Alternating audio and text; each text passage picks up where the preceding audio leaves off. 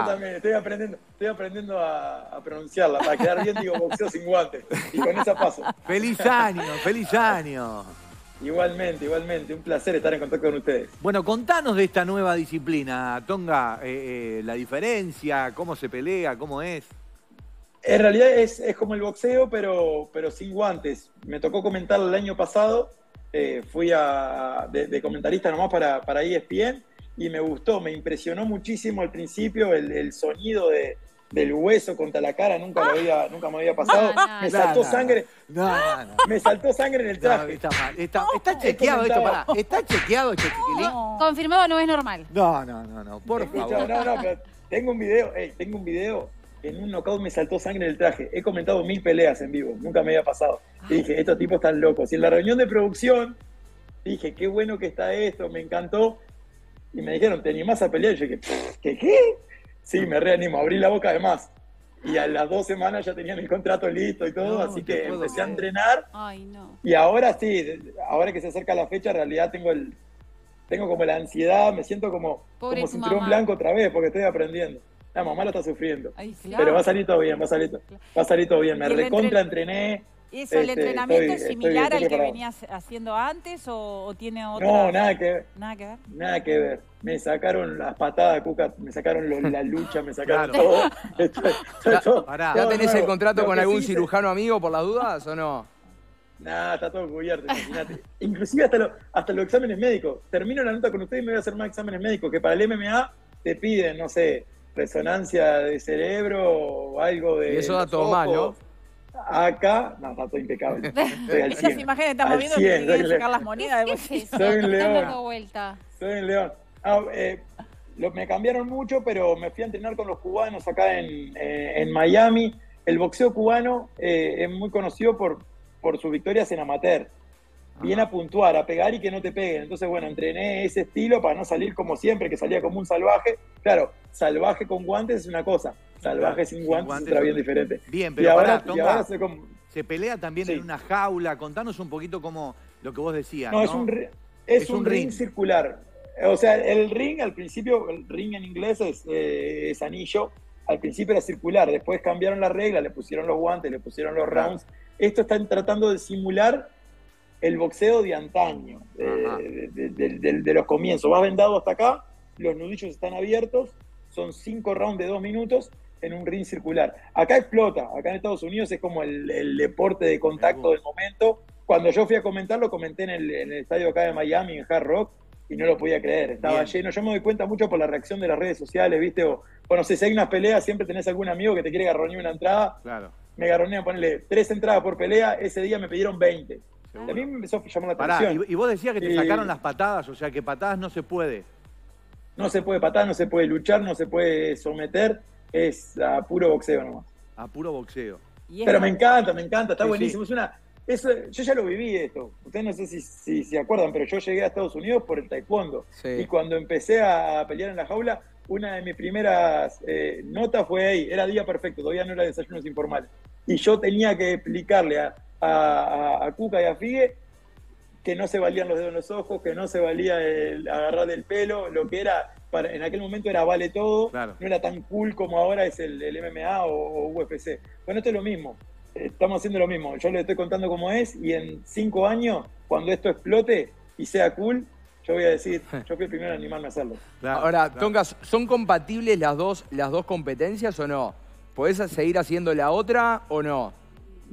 Sí, en realidad sí, eh, son compatibles, pero es, es, claro, es bien diferente el entrenamiento. Entonces, Por eso. es como un, es como un riesgo salir de un lado Y para del otro. otro. El cuerpo me cambió. Tengo las piernas mucho más flaquitas, porque como no pateo, eh, después lo mismo a la espalda, ya tengo Claro. físico más de, de boxeador, después de varios meses entrenando esto. Entonces, Claro.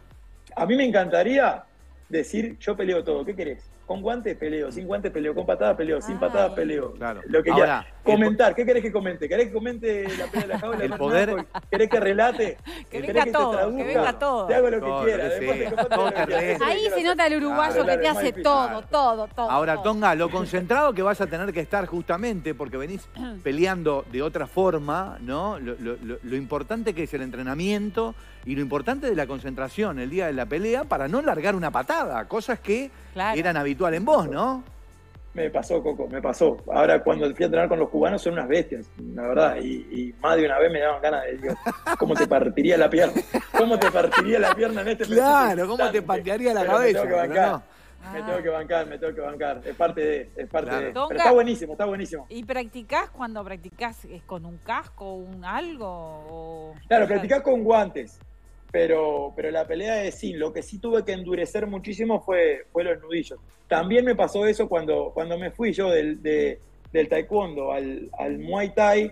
Para los que no saben, el muay thai es como el, como el kickboxing con rodillas en codos. Yo me fui para Tailandia en el, en el 2011 y pasé de pegar con el empeine, como, como una pelota de fútbol, a pegar con la tibia. Y pegaba y me dolía a mí. Y tuve que endurecer eh, la, la tibia, te hacen pegar en palmeras, a maquihuara. Bueno, ahora lo mismo. Empecé a pegar sin guantes, sabía que me dolía, pero dije, yo esta ya la viví, A ver. es cuestión de endurecerlo. Y ahora mira cómo lo tengo, mira. Mirá. Deforme A ver. la tengo en la mano. A ver, déjalo ahí un poquito, déjalo ahí. No, mirá cómo está. eh. Me quedaron, son los- estos dos son los que crecieron, ¿no? Claro. Sí, ah, sí. ya soy. Soy un Los otros son los cinco, orejas. parece. Pero Entre eso- las orejas, las manos. ¿Y están parejos lo de las dos manos? Sí, también el otro. Mirá lo que es. Sí, Pero sí. además No, esos como después Te queda como a unos callos, ¿eh? otro, ¿no? O Te sea, queda como unos callos. Sí, sí. No, cuando vaya la prueba, prueba, le, le pego una piña a Coco ahí para que... Ay. Dios mío. Para Tonga, y, y- y todo esto, ¿no? ¿Cómo compatibiliza con OnlyFans? Explícame Ah. esto porque no, no, no me cierra. Eh, OnlyFans es, bueno, es conocido eh, por, más que nada por lo que hacen las mujeres, porque lo usaron como, como plataforma, sobre todo en, en la pandemia. A mí me llega la, la- me ofrecieron para sponsorizarme, y viste, ustedes ya de arranque ponen esas fotos sugestivas. Pero en realidad, la idea de ellos es todo lo contrario, es tratar de, de- de cambiar la imagen. Y agarraron un montón de peleadores. Eh, Ajá. cuando me lo explicaron, yo a- a- ahí sí dije, no, me reconte animo. Me firmaron por, por un tiempo largo, tengo que hacer una cantidad de posteos, pero si vos mirás mi OnlyFans, creo que no tengo ni una foto sin remera. Esas fotos que pusieron ahí son de mis redes sociales. Claro. Pará. Pongo fotos de comida, entrenamientos, eh, hablo de, de dieta, no es nada eh, sugestivo. Para empezar, mi OnlyFans es gratis, Ajá. no tenés que pagar. eh, mensual como, como en otras en otras y si vos mirás no sé el campeón de UFC Brando Moreno también firmó con OnlyFans Joy Joyce Shakur Tonga. Stevenson ahora tienen un montón de gamers de Claro. de standuperos de bueno Coco nos dio Pero con el precio, por eso todavía no llegó. No, Pero tenés que sacar las fotos y todo antes de una pelea, ¿no? Porque después. Está todo roto. Claro, claro. No, pero de, de verdad, de verdad que no es la, no es la intención de, de OnlyFans lo que yo muestre nada. Eh, no me estoy, no me estoy prostituyendo, ni lo voy a hacer. Buah. Es eh, para, para, es una plataforma para estar más en contacto con tus. O sea, es como que los seguidores vean otras cosas que no ven en Otra faceta. Exacto, exacto. Pero vos sos consciente Yo de pongo- que las lo- seguidoras van a querer, van a ir a buscar otras cosas, ¿no? El café con leche. No, me llega algún mensaje, me llega algún, me llega algún mensaje y lo saco. Tonga, ¿cuándo es la pelea? El 17 de febrero, viernes 17 de febrero, se puede ver en Uruguay por Star Plus, mi casa, mi familia de Star Plus. De más. Perfecto. Y otra cosa, ¿cómo estás con el tema de ser comentarista? ¿Cómo te lleva el tema de la televisión, la comunicación? Bien, bien, me encanta, me encanta, la verdad, eh, es una pasión diferente. Cuando estoy comentando ahí al lado de la jaula, no hay otro lugar en el mundo donde quiera estar. No sé a cuánta gente le pasa eso en, en- en su trabajo, pero yo estoy ahí sentado o en el estudio con amigos y es donde quiero estar. Si hay otro lugar donde quiero estar, es adentro, Claro. peleando. Y ahora se me va a dar. Así que me encanta, sigo creciendo, sigo aprendiendo, este, hasta no robarle el, el trabajo a alguno de los que están ahí en, en Tele12 no para. Tranquilo, Tonga. Seguí peleando, que lo bien.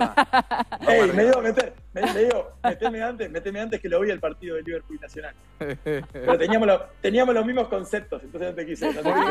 muy bien, muy bien.